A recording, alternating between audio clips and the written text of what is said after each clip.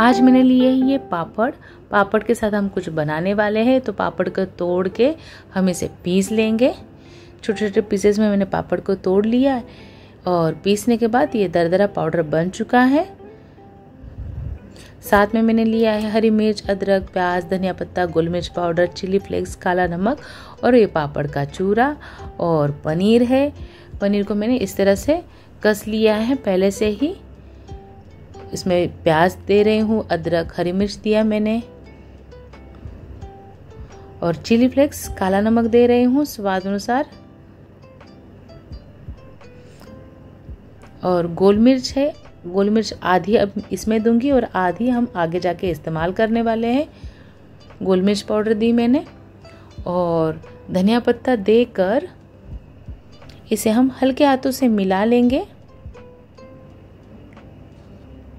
और इसके रफली हम बॉल बना लेंगे।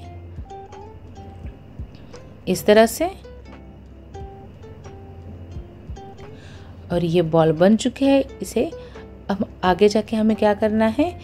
ये है मैदे और कॉर्नफ्लावर का घोल। इसमें हम जो बचा के रखी थी हम गोल मिर्च वो देकर इसे हम अच्छे से एक बार मिला लेंगे।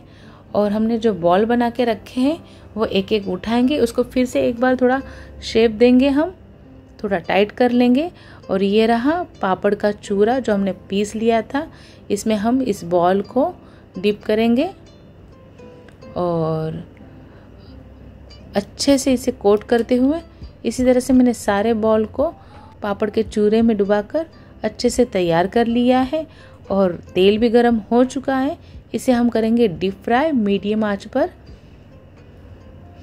दो से तीन मिनट ही हमें इसे डीप फ्राई करना है और ये खाने के लिए बेहद लाजवाब बनके तैयार है। आप इसे एक बार तो बना के देखें, बहुत ही लाजवाब लगते हैं और बस खा के मन भी नहीं भरता और पेट भी नहीं भरता।